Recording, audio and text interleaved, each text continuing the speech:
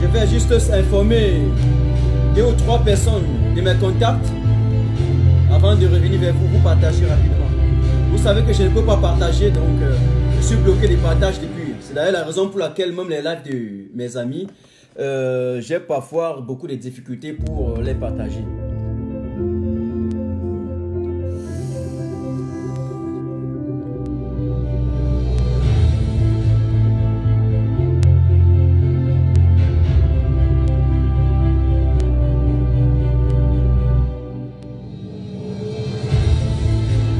Oui, je salue Diane, je salue Yelani, je salue Marie, je salue Léopold, Roselino, je salue euh, John, Nancy, je salue euh, Eric, Peu, lève-toi, fils du planteur. Fils du planteur, ce que tu as fait là. Je vais régler tes pieds quand je vais te voir. Voilà. Partagez dans tous les groupes. Organisez les séances vidéo parce que je vais dire que ce soir, hein, ça va chauffer. Matin, un jour, je reviens sur mes dénonciations et je vous avais promis que monsieur Bia et tout son système, ils mourront jusqu'à la dernière seconde de leur chute. La stratégie, le stratagème qu'ils sont en train de mettre sur pied pour écarter l'opposition du starting block, je vais les mettre dehors. Vous partagez bien sûr.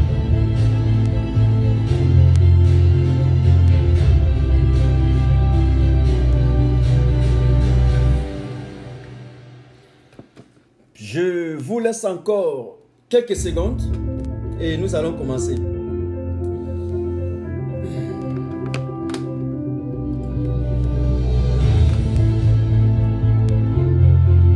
Je salue Isabelle, je salue, je salue également Sylvie, je salue Hortense.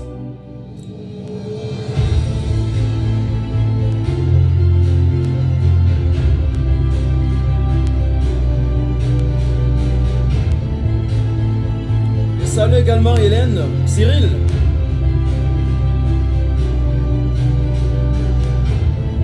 Je salue Edine. Je salue également Chris Nedor.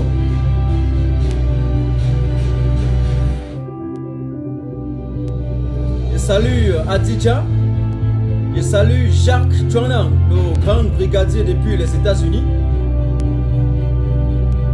Jusqu'ici, je ne fais que voir les noms de la population diasporienne. Je veux les Camerounais parce que le message s'adresse aux partis politiques. Lorsqu'on est 200, je peux, je peux vous assurer qu'il y a 150 qui sont de l'Est et il n'y a que 50 au niveau du Cameroun. Donc, allez encore, partagez encore une fois. Salut Victoire. Salut Moumier, fils du pays.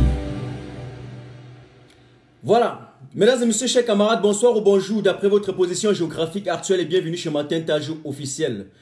Dans le cadre de cette émission dénommée Grand débat politique, même si aujourd'hui je suis seul, mais vous savez que j'ai bien voulu commencer et débuter hier. Et euh, la force cybercriminelle de M. Bia doublée de euh, celle d'Atanganji et se sont déversés en masse et en cascade pour bloquer. Je n'ai pas pu le prendre. Donc j'ai repoussé cette émission. Les invités vont se succéder à partir de la semaine prochaine, notamment à partir de lundi ou mardi, dès qu'ils vont libérer la fenêtre. Je vais vous euh, communiquer le programme. Et cela pour deux mois jusqu'au 9 février. Ça va être chaud. Le débat sera froid. Nous allons élever le niveau. Mais aujourd'hui, j'ai envie de vous soumettre une thématique. J'ai envie de vous faire une petite révélation sur un phénomène qui se passe devant nos yeux, mais que beaucoup ne suscitent pas assez euh, d'attention, beaucoup ne prennent pas assez de distance pour observer cela. Il y a une mauvaise stratégie, il y a un mauvais stratagème, j'allais dire, une mauvaise stratégie, une fausse manipulation, bref, une manœuvre scandaleuse et malhonnête que le RDPC, ou je peux dire le duo et les camps RDPC, est en train de mettre sur pied pour écarter les militants du MRC et peut-être certains du jeu électoral. De quoi il s'agit réellement? Parce que je dois être très court, bref et concis ce soir. Vous savez que pendant les élections au Cameroun, les différentes formations politiques montent au créneau et les camps bien entendu aussi. Et dans cette perspective, tous les militants des différents partis politiques qui désirent se présenter à une élection, qui désirent présenter leur candidature à une élection, doivent recevoir de la direction de l'ECAM une attestation d'inscription sur les listes électorales. Suivez-moi très minutieusement ce soir. C'est le devoir de l'ECAM d'ailleurs, il faut bien le rappeler, de le livrer, de livrer ces, ces, attestations-là à tous les candidats. Alors salut Thierry, salut Mouta. Mais vous savez bien que le 10 novembre 2019, l'ECAM a convoqué le corps électoral conformément à la loi, hein, numéro, ou bien je sais plus trop, en fait la loi du 19 février 2012 euh, portant code électoral au Cameroun. Immédiatement, après cette convocation, il y a, beaucoup vous avez vu, un formulaire qui a circulé comme étant un formulaire délibéré, étant euh, euh, en tout cas un formulaire délibéré par la direction nationale, par la direction générale de l'ECAM, comme étant un circulaire qui venait directement de cette direction nationale. Eh bien, j'ai essayé quand même de regarder ce circulaire, j'ai essayé un peu de regarder le formulaire et euh, j'ai pris une distance, j'ai observé minutieusement le circulaire, mais comme par surprise, il paraît quand même ou bien, j'ai observé qu'il n'y a pas une indication précise concernant une élection quelconque sur le circulaire. Je vais vous montrer le circulaire, sans préciser concrètement de quoi est-ce qu'il s'agit. Il n'y a rien dans ce circulaire concernant euh, euh, formulaire concernant les élections, qui précise qu'il y aura des élections le 9. Il n'y a rien qui précise réellement, concrètement, qu'il s'agit du double scrutin législatif et municipal tous les documents officiels au niveau du Cameroun concernant une élection, d'après ma mémoire jusqu'ici, devraient ou bien ont toujours précisé de quel type d'élection il s'agit. Mais le formulaire que nous avons actuellement, bref, il y a un autre formulaire qui est sorti, mais le formulaire qui était déjà en circulation et que j'ai vu ne précisait rien, n'a pas d'entête et n'a bizarrement pas d'indication. Pourquoi? Ça suscite mon attention. Le formulaire euh, suscite mon attention parce que Elecam n'a jamais fonctionné sans l'enquête. Zéro au Cameroun. Si vous, prenez toutes les élections qui sont passées et vous vérifiez bien. Eh bien, ensuite, parce qu'Elecam a toujours précisé de quel type d'élection il s'agit. Je sais que le MRC, par exemple, est partout et est en train de bousculer de gauche à droite dans toutes les circonscriptions, est en train de bousculer le système eh bien, pour l'établissement de ces, de dossiers, mais ce que je dénonce, c'est quoi? Je demande de continuer d'abord au MRC et les autres partis d'opposition, de continuer à bousculer, à ne, à ne rien laisser, à se présenter et à constituer leur dossier. Mais le vrai problème que je dénonce, c'est quoi? Il y a de cela quelques jours, la DGE, pour ceux qui ne savent pas, c'est la Direction Générale de l'ECAM, a sorti un deuxième circulaire après le premier circulaire. Et ce nouveau circulaire présente quand même un caractère officiel. Le nouveau circulaire est en bonne et due forme. Je vais mettre le circulaire directement après ce live euh, sur ma page. Le nouveau circulaire est en couleur et à l'entête précise clairement qu'il s'agit d'une élection. Le nouveau circulaire qu'il s'agit du double scrutin législatif et municipal 2020. Le nouveau circulaire est en couleur et porte visiblement un logo. Mais lorsque vous regardez l'ancien circulaire qui était déjà en notre possession, ou en votre possession, vous les candidats, vous constatez clairement qu'il n'y a pas aucun caractère officiel dans ce document.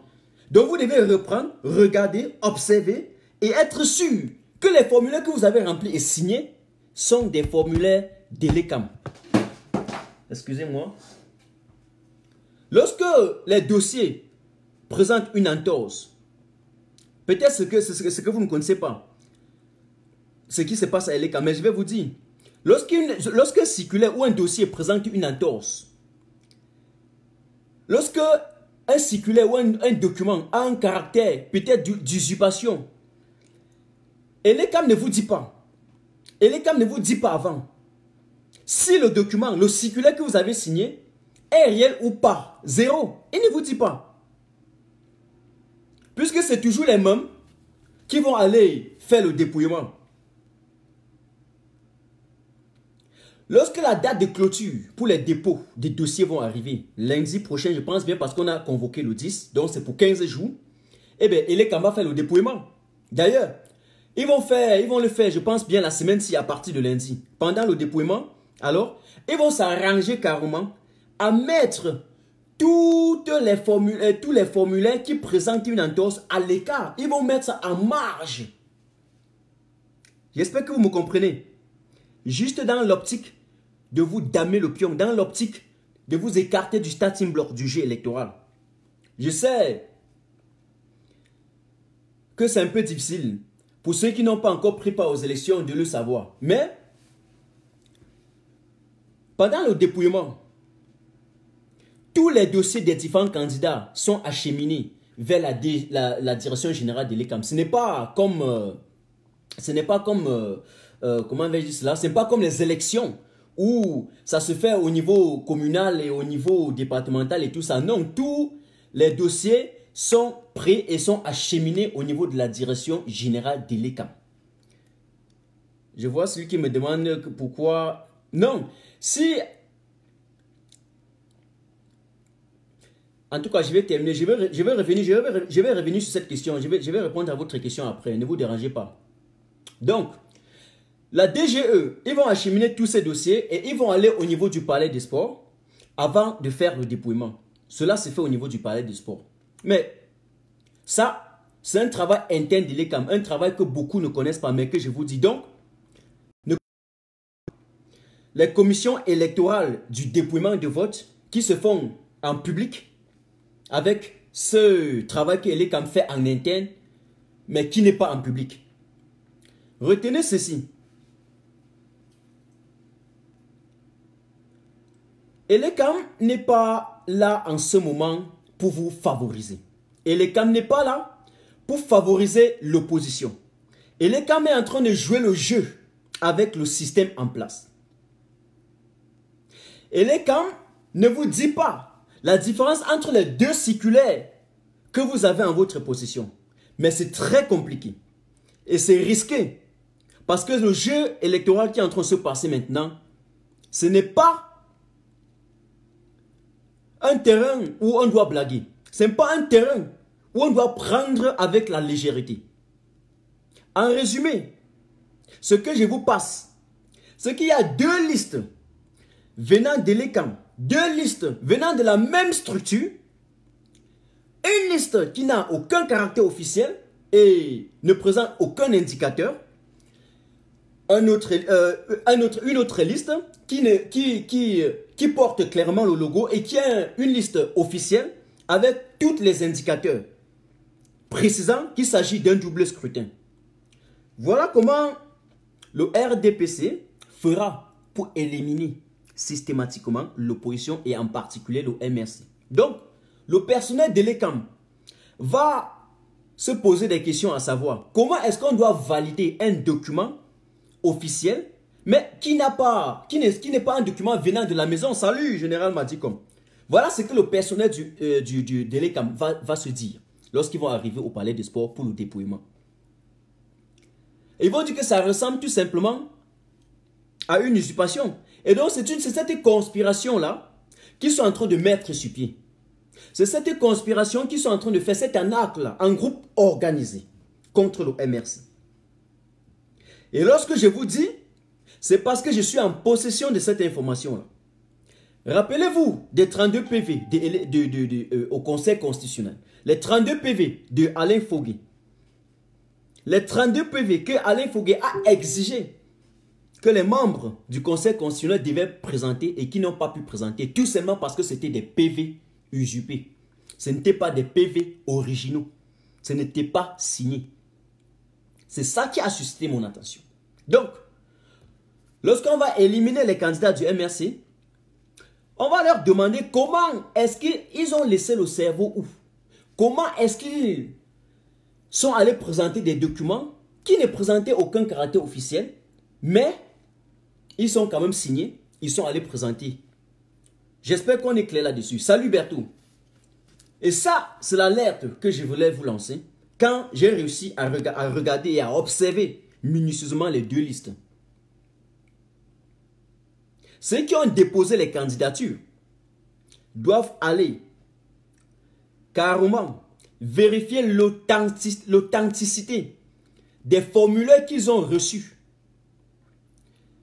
Je reprends.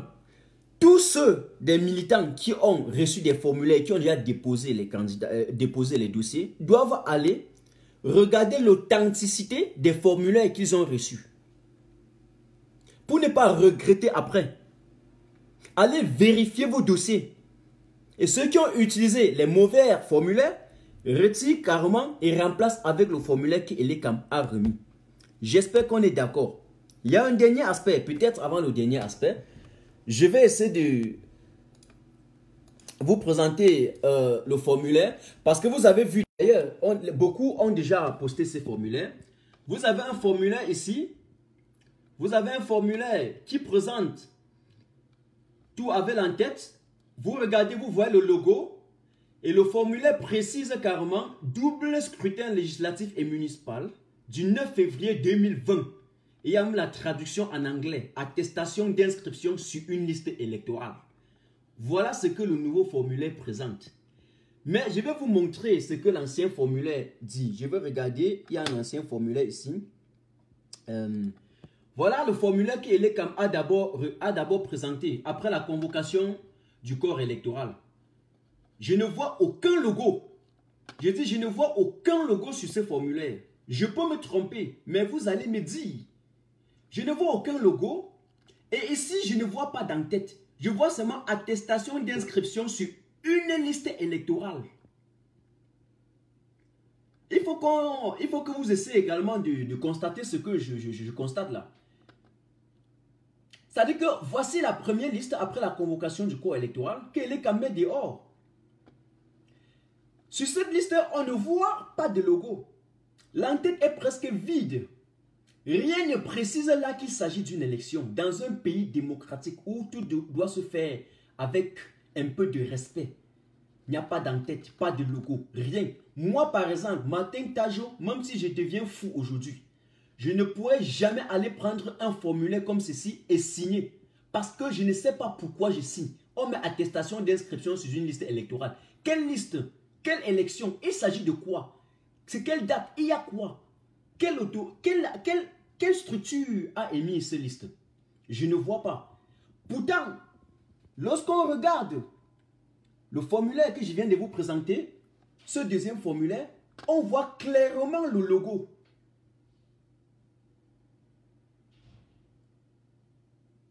Regardez. On a carrément changé le logo. Et puis ici, on voit l'entête, on précise double scrutin législatif et municipal du 9 février 2020. Ça, j'ai même reçu encore une autre liste là, qui est même carrément... Voici la liste par exemple. Ceci, on a même carrément signé, il y a même une signature là en bas. Il y a même une signature. Donc, voilà ce que je voudrais vous dire d'abord concernant ces deux listes. Et à la fin du live, je vais mettre la liste sur ma page. Et j'espère bien que ceux des candidats qui se sont inscrits, là, il y a quelqu'un qui voit tout ce que j'écris là. Je, ne suis pas en train de lire les commentaires, hein, parce que, voilà, un instant là.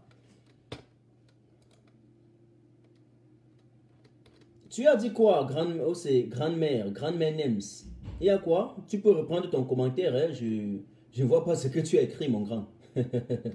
voilà. Donc, j'espère avoir été clair. La dernière chose, je l'ai déjà dénoncé carrément en ce qui concernait les cartes électorales.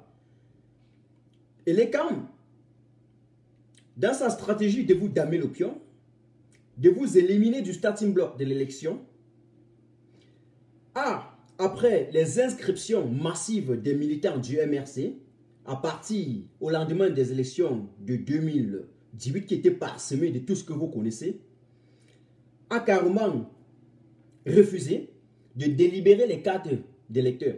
Et donc, parce que dans leur stratégie, tous les militants nouvellement inscrits iront voter le MRC. Et c'est comme ça qu'à quelques jours, ils vont vous dire qu'ils n'ont pas pu octroyer les cartes d'électeurs. Ils vont trouver des raisons farfelues. Ils vont trouver des raisons que nul ne peut justifier. On va vous dire qu'il n'y a pas de carton, il n'y a pas ceci, il n'y a pas cela. Salut Coco. Ça, c'est une chose. Donc, cas doit délibérer les cartes d'électeurs, les cartes de tous ceux qui se sont inscrits. Voilà une chose que je voudrais dire. Donc, j'avais arrêté le live comme ça. C'est une observation que je voudrais faire. Ceux qui ont pris des listes, qui n'ont aucun caractère officiel et qui ont déposé les dossiers avec ça, doivent encore aller vérifier. Sinon, je ne peux pas comprendre comment, dans un pays, à la veille d'une élection cruciale, une élection qui est aussi décisive, comme celle-ci, surtout dans un contexte où, un contexte qui est parsemé d'une crise intense, dans une météo politique qui a entraîné des tensions sociales. Nous ne sommes pas encore sortis de là. On voit une structure, un organisme comme Elecam, dans une période d'une semaine, de sortie de circulaire. On va vous dire qu'un circulaire n'est pas Délécam et un autre est Délécam. Mais on va vous dire à un moment donné où on a déjà terminé. J'ai répété mille fois. Je m'arrête là. J'espère qu'on était d'accord. Je vais remettre tous ces circulaires sur ma page après le live et j'en ai terminé. Voilà. Je ne fais que mon travail. Martin Tajou fait son travail. On fait comme ça. On était ensemble.